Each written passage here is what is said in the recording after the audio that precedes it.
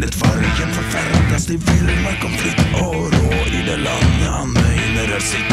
Litt gulven får våkne og gange ut i Kvi seg på rabbom og kjenne seg fri. Litt blomsten får vekse og falle seg ut og sovne i skogen når sommer er slu.